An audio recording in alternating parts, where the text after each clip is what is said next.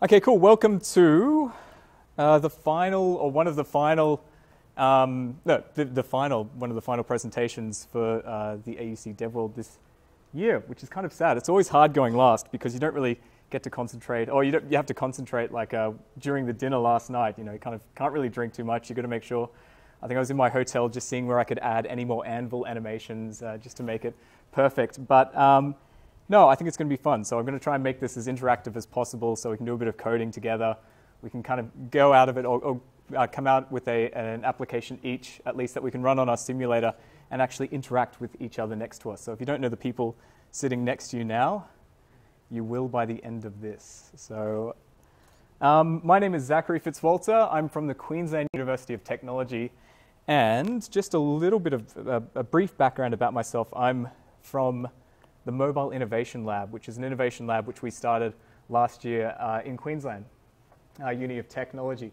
And basically, the Mobile Innovation Lab uh, does research based around using mobile devices in novel ways in a couple of different areas. So we look at things like uh, education, uh, public transport. Jimmy's working on public transport, and Tony's working on context-aware mobile devices. So we've got Tony and Jimmy here. You may have seen their talks earlier uh, today. Um, but yes, they're both from the Mobile Innovation Lab, as well as Anthony, who was yesterday presenting on core data. Um, you can check out our website there.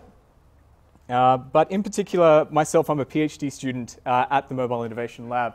And uh, my, my PhD is currently based around looking at games and looking at mobile devices and how we can merge the two together, and in, particular, in particularly focusing on how we can use games to engage people with everyday activities. Um, there is this word called gamification. I don't really like using it, but uh, it's, it's a good way to kind of describe what it's about really at the moment.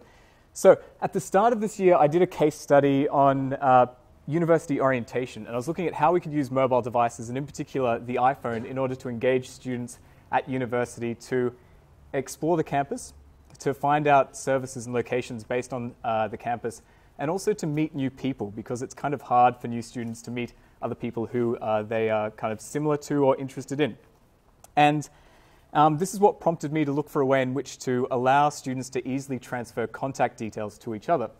And so, usually, when we uh, add uh, a person uh, or when we meet someone for the first time, business cards are dead. I don't know, does anyone still use business cards?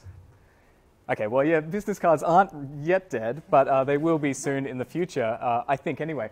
But generally, when we meet someone, we might say, okay, cool, uh, I've met you, I like you, you're okay, can I grab your contact details? And a lot of people will bring up uh, the new contact form in the address book uh, in your iPhone device or iOS device. And from here, you can then uh, add first name, last name, and if they're really nice, they'll let you take a photo of them, but sometimes that's uh, kind of a little bit awkward. And you can add things like, you know, mobile, uh, the home email, ringtone, special ringtone, etc. Details about that person.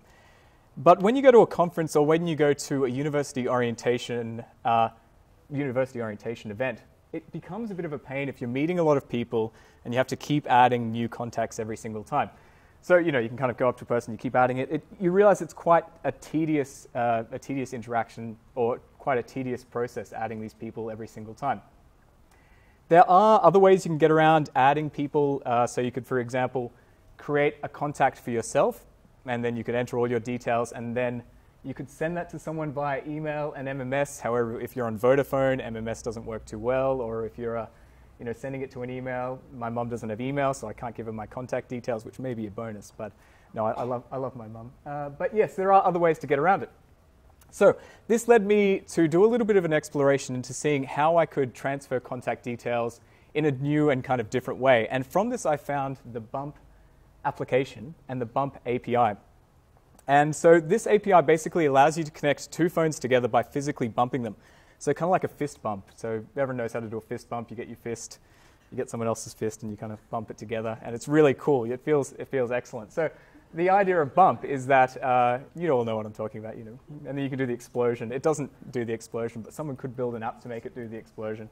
Uh, but yes, so I found the Bump API, and this was exciting because it allowed you, it, it, allowed kind of a novel way in which to send information from one iPhone to the other, and it's quite tangible and it's quite interactive in the sense that, you know, it, it's kind of a nice feeling bumping from one to the other. So, it's also much faster than uh, adding an individual contact via your address book. And I'm willing to put this to the test just quickly. So I've got a copy of Bump. Has, who has Bump on their iPhones? Excellent. So a few people, if you shouldn't, shame on you, turning up to a Bump app. No, no, it's okay. It's a, it's a free application. But Elliot's, I'm just going to, just quickly, we're just going to do a little bit of a competition. I've got Jimmy and Tony. Can you add each other via your contact details? Hopefully this works. So just in your address book, add each other. And Elliot and I, I swear I didn't prepare this earlier. This is uh, completely on the fly. So Elliot's got Bump application on his, uh, on his phone. And I've got the Bump application. I'll pull it open. If you haven't seen it, you can't really see it from this far away. But basically, it's got two little hands and they're bumping together, and you can share some kind of information. Okay, does someone want to give us a countdown? We're going to, we're going to race and see how quickly we can transfer our contact details. So that means you've got to transfer name, mobile address, uh, email address, website, uh, take a photo as well of each other, and uh, then we can see how we go. Okay, cool. Does someone want to give us a countdown? Neil. Uh, two, one, go. Okay, so we've connected. Oh no, we need to bump again. No. Nope. Okay, wait. We'll get it. It's a little bit. Uh, it's a little bit. Uh, okay, wait. Excellent. I say connect with Elliot Wilson, and bam, I've got his contact information. How you guys going over there? Saving photos? Saving photos. Oh yeah, Tony. What about a mobile? What's your number? Zero four one two three four five doesn't sound like a real mobile. That's okay. We get we. You guys can. Yeah, I've got some great prizes for you guys as well. Some uh, there's a microphone and uh, some jelly beans and. Uh, um, yes, so you can see. Okay, I just wanted to kind of give a demonstration. So it's basically Ellie and I just kind of bumped phones together. You do have to set up your contact information that you want to share with someone else. But basically, that's it. So you can then go around to anyone who has the Bump app and you can bump phones together and share things like uh, your contact information, your Facebook uh, details, credit card details. No, not credit card, but uh, you know any kind of information that you want to share with each other. You can do it with iPads, yes. And I'm still waiting for a way to do it because these things have an. Ex- I'll show you how it works in a second. But these things have an accelerometer inside them as well, so it'd be fun to kind of do it with MacBooks, wouldn't it? You're kind of bumping them together. Uh, cool. So over the next 30 minutes or so, I'm going to give you a, a brief introduction to Bump, what exactly it is, what you can do with it, and how it actually works. And then we're going to uh, we're going to whip out our, our, MacBooks and MacBook Pros and uh, whatever other devices we have, and we're going to run through an example application together called Scissors Paper Bump. Um, so you can kind of guess what the title is going to be. Uh, and I'm going to run you through just a quick how-to guide to implementing the Bump API into your application. So you can basically see what methods are required to just get it up and running. There's not too many, which is fantastic, and just how easy it is to actually add the Bump API to your application. Great. So the idea for Bump was conceived by a guy named David Lieb. He was a former employee of Texas Instruments, and he was doing his master's in business. And he basically he didn't like the idea of the business card. He thought it was tedious, and he thought there was a better way in which to transfer information from one person to the other. And so he had an iPhone, and he's like, oh, you know, we could possibly use this. But uh, the issue with this, this kind of idea of thinking is, is transferring contact details to another person. You run into issues on a, on a hardware level. So we have these really powerful devices at our fingertips. We've got these iPhone 4s, they've got you know, amazing hardware inside them. But then getting them to actually talk to each other can be a bit of a pain programmatically. And when we bring in other devices, say, that are running the same operating system, uh, we have you know, potential issues where we need to add more code for that kind of particular device. And then when we have other devices which are running completely different hardware and completely different operating systems, you know, just implementing a way for, to get these devices to talk to each other that is intuitive and clear, and so you're not having to send an email to the other person standing right beside you, and you're not having to just SMS them information and stuff like that. It, it can be quite difficult. So the idea for Bump was conceived, and Bump basically, instead of working on the hardware level, it works on the software level. So what they've done is they've created this application and they've set up servers and basically, all the kind of bump information goes through these servers. So all connections are made and all data transfers go through bump servers. And so it works on a software level rather than a hardware level. And what this means is you've got this cross compatibility across um, different devices. So you can implement Bump on your Android phone and on your iPhone phone, uh, iPhone, iPhone phone, and on your iPhone, and you can actually bump them together. So I could have an Android and iPhone bump them together, and as long as they know what data they're receiving, they can actually talk to each other which is kind of cool. Now, when we talk about bump, there's two different, uh, two different uh, sides to it. And the first side is the bump application, which I mentioned before, which you can kind of download and you can use to bump uh, and send information to uh, other people. So this is for users. You can uh, obtain it freely off the App Store. And you can basically download it, start using it now, where you share things like contacts, your photos between people. You can share apps that you like, music that you like as well, calendar events, and social networks. So that's all kind of cool. You've got this app which you can use uh, to share that kind of information. But then for us, for developers, we have the Bump iOS API uh, currently at version 2. And now this is really cool because this means that as developers, you can actually add the Bump API to your applications and actually implement Bump uh, kind of technology into that. So a quick couple of example of applications that use a Bump API on the App Store include the PayPal app. So this recently uh, released, uh, they recently released a version which had Bump technology inside it. And what this allows people to do is that if you have any friends who owe you money, I think I've got a guy still from grade 12 who owes me about 50 bucks. So I need to, I need to find him and take a, either Sledgehammer and uh, Bump application or this paper. No, I wouldn't do a Sledgehammer or anything like that. Some kind of sword would be better, I think. Uh, but uh, the PayPal app. So basically, this allows you, if you've got someone next to you, say you go out for dinner, for example, and they pay for the meal, and then you want to transfer money to them, you can basically pull out your, your PayPal application, and as long as you both have it, you can then transfer money to each other using it, which is kind of cool.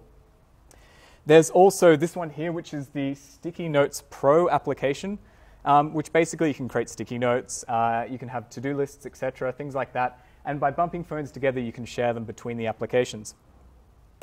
Now, uh, the Bump API is actually really good for local multiplayer gaming as well. So, in particular, turn-based gaming. It's not so good for real-time uh, local, local gaming, but uh, being able to trans just because of the, the amount of chunks of data that you can send are, are relatively quite small. Um, but for things like Connect 4, uh, so this is an application available on the App Store by Bump Technologies. And basically, it shows you how you can use uh, Bump to begin a local game with someone else who's running the same application and then transfer moves over an extended session. And so that's kind of cool. Now, there are other apps out there, which other, other examples of applications.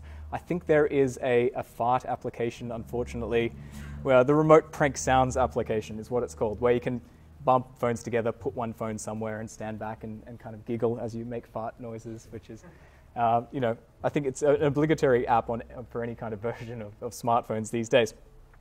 And if you head to the blog, uh, the Bump blog, they've actually got a wish list set up of apps they'd like to see that use the Bump API. And so they list things off like, for example, uh, dating applications. So you could bump phones together with someone that you've met, and you can see how compatible they are.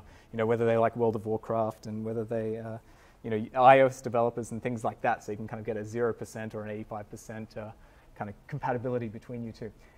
Social games, so for creating social games, for group and party games, I think that would be kind of fun, having some kind of party game when you need to go around and find certain people bumping things together.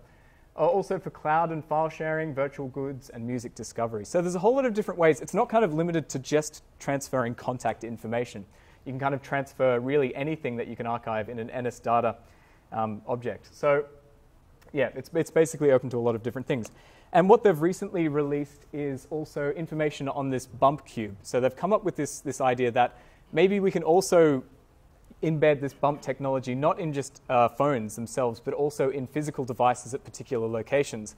So you can't develop for this one yet, but they're building these basically. Uh, and the idea behind them is that you put them at a particular business.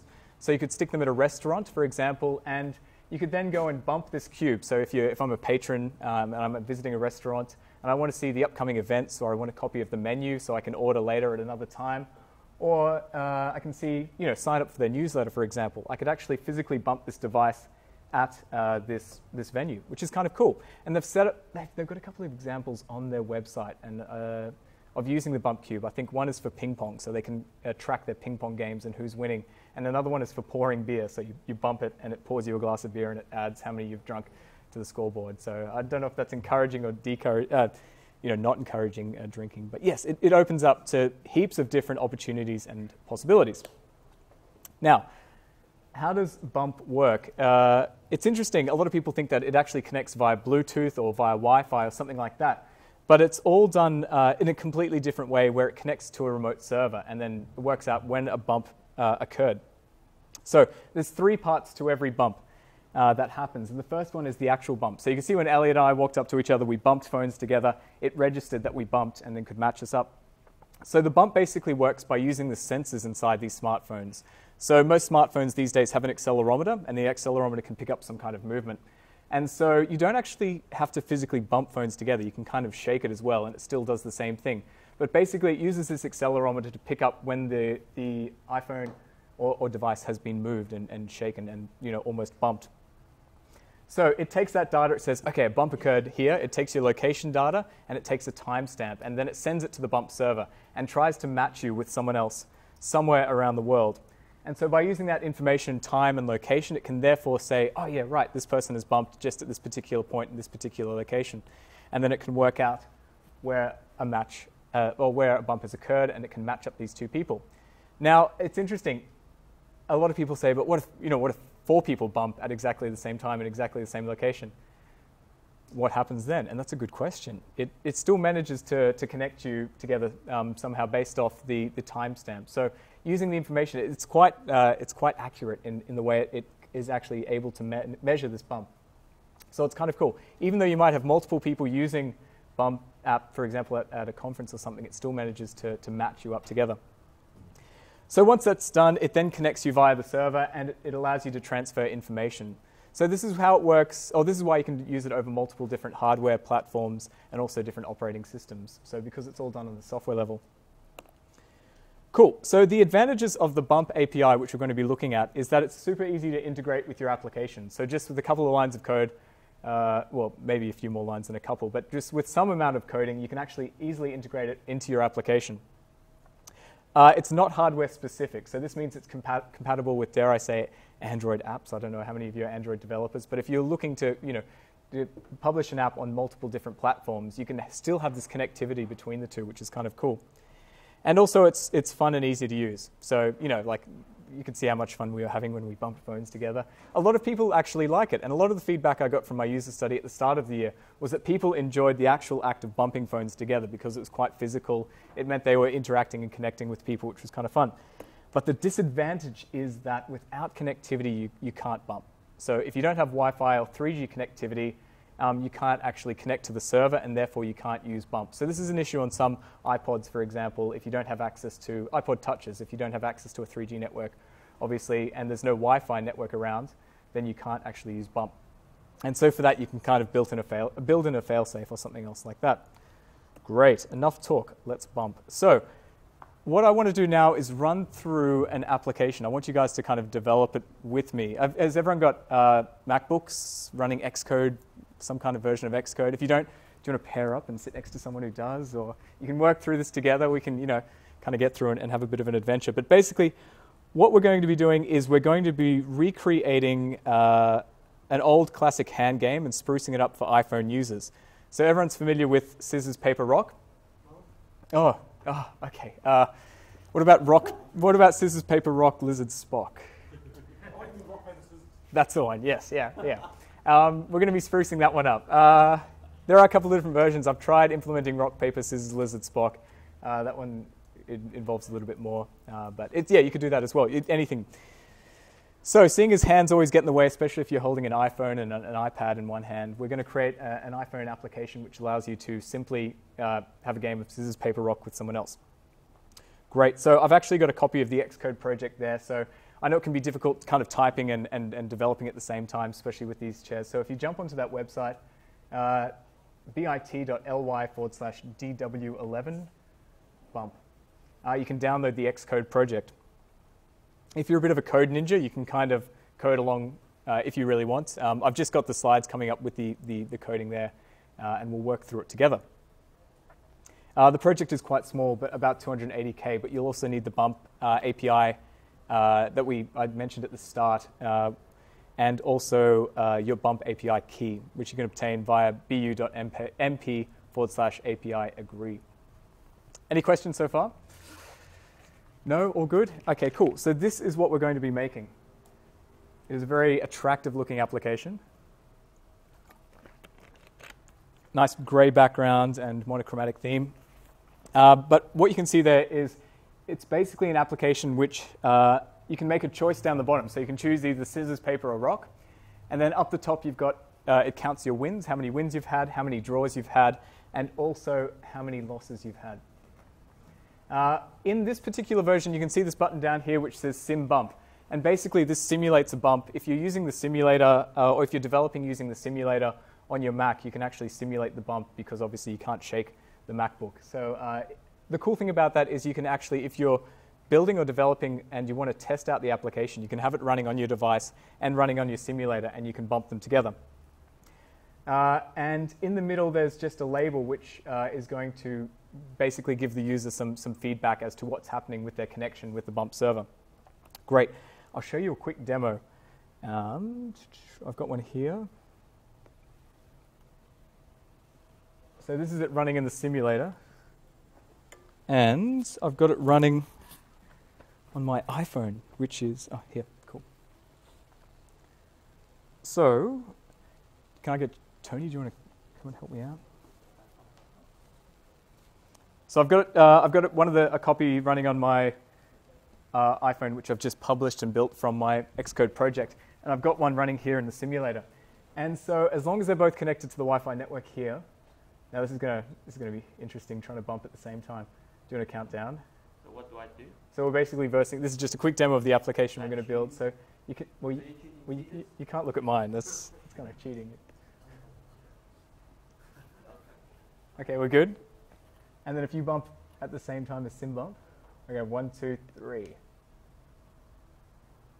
So we can see, you see the text label changes. It tells us that a session has been created. A match has been found, so we managed to match.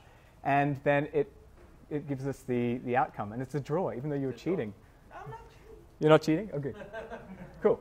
And so if it's a draw, say if I win this time, Okay, so one, two, three. So session started, and then you win, and so it, it gives you a little uh, alert saying that you've won. And if I lose, one, two, three, you can see that uh, it tells you you lost, but doesn't rub it in too much. Cool, thank you. So that's what we're going to quickly be creating uh, over the next 20 minutes or so. Um, okay, cool. So let me get this up and running again.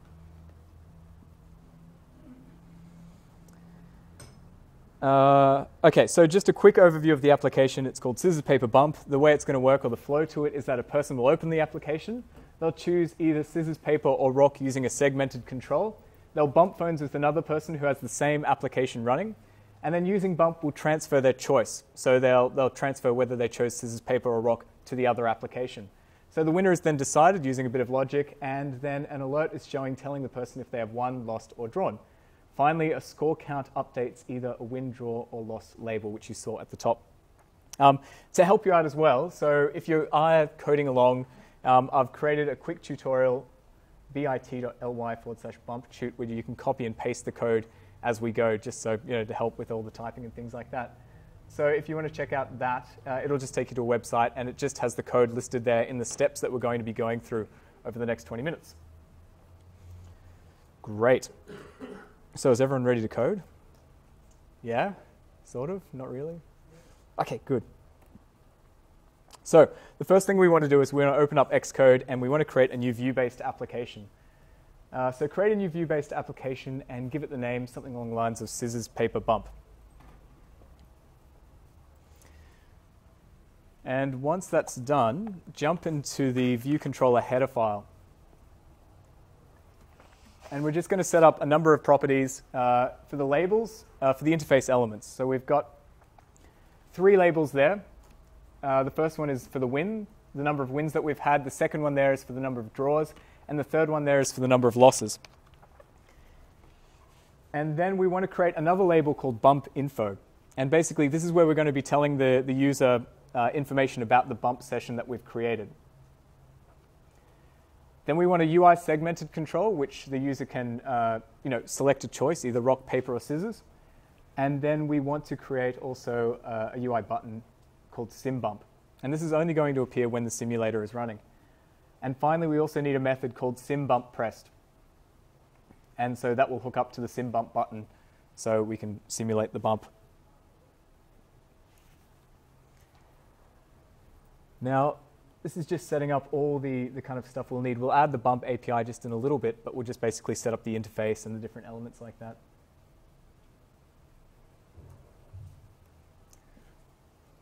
Oh, thank you. Yeah, cheers. Tony's just given me some kind of a stick that I can beat. Ooh, I broke it. Ooh. Oh, pointer. It's not. It's not for. Okay, cool. Thank you. Okay, so once we've done that, uh, we then want to head into the implementation file. And here we set up just a number of, uh, we define a number of values, uh, one for rock, one for scissors and paper, just to make it easier to code for it and test the logic. And then we also just want to synthesize those different properties. So we have wins a label, draws label, losses label, bump info, choice, and sim bump. All good so far.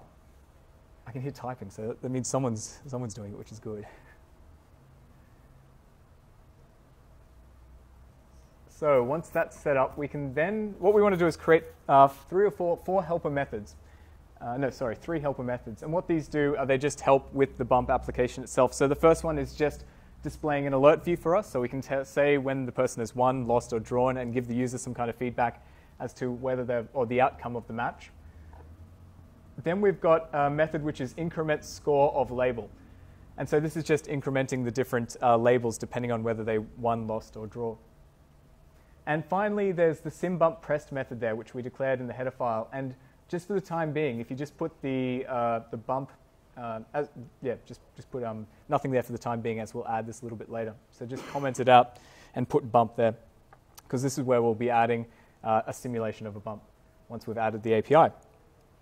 Cool, and then we just need to uh, release all those properties. So just in the dealloc. Right, then you'll jump into Interface Builder and set up the interface for this. So um, it's just as simple as adding six labels up the top. Uh, the top three have uh, you know uh, naught value in them, and just outlining what, which one's the wins, which one's the draws, and which one's the losses. Then we want a bump. Uh, the bump info label will go in the middle there. So create it quite large because we need to create a, a fair bit of text that goes in there.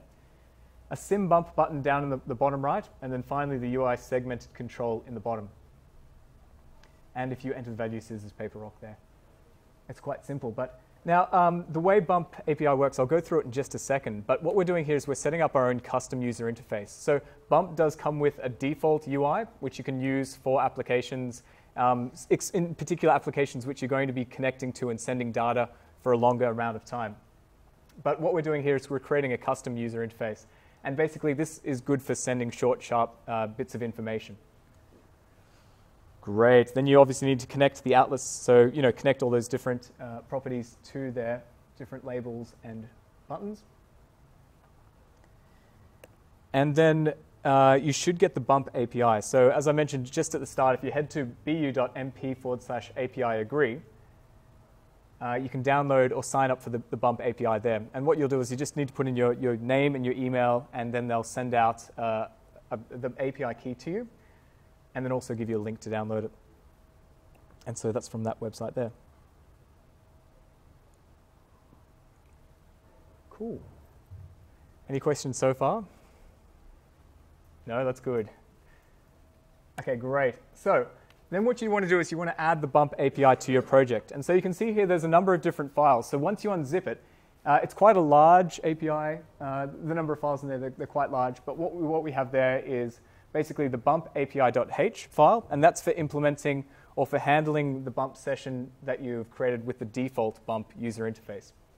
So if you're just setting up a regular default bump UI, you'll use that, that particular file. If you're the bump API assets.bundle there, basically that has all the, the default assets for the, the default user interface. So you have things like uh, sounds, so you can, there's a little bump sound that usually occurs, and you have a little animation as well that plays when you want to bump with someone else. So in that bundle file uh, are those particular assets. Then the bump API custom UI.h, and this is for implementing a custom user interface like we're going to be doing. Uh, and then finally, the bumper.h file uh, that contains information about the particular user, so the person who's using the application. This defaults to the name of the device, so whatever you've set your name to on your device, it will default to that. Otherwise, you can set it to something else. So you can give people player names or, or get their contact information, first name, last name. And this is just for confirming that you want to bump to a particular person. So you know who you're bumping with, and you can say yes or no. Cool. So you also need the following frameworks in order to use the bump API. So you need the audio toolbox in which to play the sound of the bump. You need the AV foundation in order to play the media, core location for getting location data, uh, Quartz Core for also a bit of animation, and the SQLite library. Uh, so you just need to add the frameworks via Xcode. So by clicking the project, you can then add the targets, scissors paper bump, uh, clicking on the targets, scissors paper bump, and then adding the frameworks there. So you'll need to do this. Uh, the, the project you downloaded from Xcode doesn't actually include these. Or maybe it does. No, it includes these frameworks, but you need to add the bump API. Cool. So just a quick overview of the bump API. There are two different types of bumps. So as of version 2.0 of the bump API when it was released, in, in the earlier version, you could only use the default UI. So this is the one on the left. And basically, this, this has a pop-up which shows uh, when you want to bump with someone else, and it comes up with the image of two fists bumping together and uh, bump to connect, and then also an optional message underneath. So you can add something like, you know, bump with another person uh, to start. And so what this does, it looks a bit like this. This is the flow. So you want to bump with someone, you, you start up bump, it warms up, there's a little animation showing it's loading, and then it'll, it'll ask you to bump phones. It'll then connect, and then it'll ask you to confirm whether you want to bump with a particular person. Now, as of version 2 of the API, you can access uh, a custom UI uh, and you can create your own user interfaces basically for Bump. So you don't have to use this default user interface. And this is really good if you want to remove, or the reason we're doing this today is because if you want to remove kind of some of that interaction or some of those steps which aren't necessary. For example, if you know you're going to connect with someone uh, automatically or you know you don't want a pop-up occurring, you can create your own custom user interface. And doing this is really good for short, sharp bursts of information that you're connecting. So if you're creating a game where you wanted to transfer over a longer session, you might use the default bump UI because it's a little bit more stable. But using something like this just to transfer information quite quickly is all you really need. So this would be good for some kind of you know event applications or somewhere where you want business card application where you just want to send quick amounts of data to someone else. Cool. So the bump process consists of three different things. There's first off the configuration where you set your API key, the delegate, and the UI delegate. Then there's the session. And so this is just requesting a session, handling a session, and also um, handling things like bumps, error, and disconnects that may occur when you're connecting to the bump server. And then finally, after that, there's cleaning up, and that involves ending the session. So those are the three things we'll just implement quickly now. So the setup and configuration, if you head back into the view controller header file, um, you need to conform the class to the two protocols, the bump API custom UI and the bump API delegate. And you also need to import bump API.h and bump API custom UI.h. Once that's done, you can then head into the implementation file, and in the view viewDidLoad um, method, you add, first of all, a, a, reference or an object that's referencing the Bump API shared instance. Now, with the, the version one uh, of the Bump API, you, could, you had to create the actual object itself, or the Bump object. But this time around, you don't have to do that. So you just have to hook it up to this, this Bump API shared instance. There can only be one at any time. If you uh, declare another one or alloc an init another one, who knows what will happen. But uh, basically, as long as you just reference this particular instance, then that's okay. Then you add your, or you configure, uh, you add your API key, or we have these configuration methods. And the first one is just adding your API key. The second one is uh, then referencing the delegate and also, or setting up the delegate, the UI delegate and the delegate. Calling these methods after the call to request start is undefined. So after we've done these configuration methods, we can then request uh, a session from the API. But doing these configurations before that, again, will, will provide, uh, who knows what will happen. It'll kind of be a bit messy. So once the configuration has been completed, we can then request uh, a session from the bump API object. And just one thing more we have to add here is that because we, we just want to make sure that the, the bump uh, or the simulator bump uh, button is only showing on the iPhone simulator, we simply add these th uh, three lines of code which will remove the simulator button if it's running on an actual device. So we're just targeting the iPhone simulator for this particular button. Cool. And then we start implementing the bump API methods. So there's just a number of API methods which you need to implement in your um, project to get it up and running. I'll go through these relatively quickly, um, just to give you a bit of an overview. But for these, as long as you've got the bump API and you've conformed to the, or you've, you've added a, a reference to the delegate, then it'll ask you to implement these particular methods. So we've got the, first of all, the bump request session called, um, and this basically updates the user and lets them know that uh, they're, they're requesting a session from the bump server, and they're wanting to then bump. If this session fails, we need to implement the bump failed to connect to bump network. These, these methods are going to get very long and very exciting, uh, especially as I read them out. Um, but yes, bear with me. So bump failed to connect to bump network. Um, so that's just updating the user and letting them know that we've failed to connect to the bump network for some reason. And if that happens, we can then request another uh, session with the, uh, with the server uh, from the, the bump API shared instance. Um, once the session has connected, it'll let us know via this method. So using bump connected to bump network method, we can then set the text of the label to saying, yes, you're ready to bump away. So you can let the user know that they're ready to bump with someone else. After that, if the bump end session is called, then we just let the user know that this, the end session uh, method was called, and we also can log this just to know if, if this was meant to happen on purpose or if it was not. If the network was lost, then we can let them know. So we, we're going to retry and, and try and gain access to the network again using the bump network lost method. Using the bump occurred method is where we find out that a bump actually occurred from a particular user then we can attempt to connect to the other person. So this is when the, the bump occurs and we're going to try and match the two users together. If the match doesn't work and it fails, then we have the bump match failed and it provides a reason as well as to why it failed. So then in this sense, we, we just basically let the user know that the, the match has failed and that they should try again. Then after that, if we do manage to match the two users together, we get the bump matched uh, method and for this, we can set the text as to being matched, and then from there, we can confirm that we, these two were, were, supposed to match together. And so what this means now is generally with your application, you'll ask people if they want to connect to a particular person. In this case, we're not doing that. We're just confirming it because it's a simple application. But once we've, done, we've confirmed that this is the person we want to connect to, we can then start transferring data. Great. So using this bump session start, oh, sorry, uh, and then also there's the bump session started method. So that's once it's started, we can let the user know. Then with the bump session started with method, we can then start selecting information or data that we want to transfer to the other person. So for this, we just simply need any data that we, we want to transfer. We can uh, set it up as an object and archive it as an NSData object. And this can then just be sent across by using the method sendData. So we can send anything across we want to across using uh, this bump API, as long as we we set it up as a NSData object. If the session fails, then we, we have the bump session failed to start method, and that's, that's basically handling that with a particular reason. Uh, and with the data received, so, oh, sorry, then the bump session ended method. So when the bump session ended, we, we call this method and we let the user know that it has ended and that we want to request a new one. So because we're, when we match together, we're just transferring a little bit of information and then we want to you know, set it up again so we can keep bumping together. We then um, basically can set up another session over and over again. We're getting there. There's a lot of sessions, a lot of methods to implement, but uh, you kind of get the idea of it.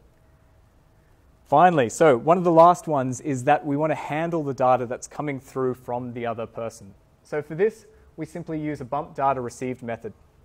And from this, we take the information that we received from the other person, we unarchive it. So as long as we know what the data was first archived as, so whether it's an integer, whether it was an array, whether it was some kind of dictionary, we can then un unarchive it and uh, create some kind of uh, you know, uh, value from it. So for this, we create an integer, and we find out what the opponent sent us across. And then we create, or we find out what our option is. So this is uh, implemented exactly the same on both uh, persons' programs. And so it'll, it'll take the information and run it in both a similar way. Cool. Then we have a little bit of logic, which then checks each other's uh, value to, uh, to the other person's. And so we can see whether we've, have, we, you know, we've got the same value, so therefore it's a draw, whether we have, um, we've beat the opponent or whether we lose to the opponent. And then with that, we can then present an alert view message, and we can then increment the score uh, in the label. And then once all that's done, we can then end the session because we don't want to transfer any other information to the other user. Great, so that's basically it. How did everyone go? Did you manage to get through that? Yeah, a little bit. Does anyone want to bump and uh, does anyone want to build and run and? Yeah. You've got it going. Good, good. Do you want to bump with someone else around you? What was that? Yeah, so you can bump with two simulators as well. Does someone want to try it? Yeah? You got to do a countdown as well. Who wants to bump? Three, two, one. I don't know if anyone else. That's okay. I'll let, I'll let you play with it after anyway. Um, so there's one more thing that you want to handle, and that is multitasking. So when the app goes into the background or comes back into the foreground, it's really simple to, to handle this kind of stuff with the bump. So in the app delegate file, all you need to do is add two lines. Uh, and the first one is in the did enter background method, you just basically end the session uh, for the bump API. And so that just ends it, and then you can restart it again when you enter the foreground. So uh, you just request a new session from the bump API object. Yes? Yes. So yeah, you, it yeah it uses location through Wi-Fi on the simulator. Yeah, and that's basically it. So if anyone wants to try bumping with each other, you can. How many of you actually implemented it? I'm unimpressed. Where, where, where's all your coding skills? This is really sad. I, I thought we were going to have a fun interactive session. No, it still was fun. So if anyone wants to try bumping with anyone, I've got the iPhone up here as well. Um, but basically, I just wanted to give you an overview of the Bump API, the couple of the different uses that we had for it. So you saw, you know, applications can really easily add it uh, and have it for things like those PayPal, uh, the other ones there as well.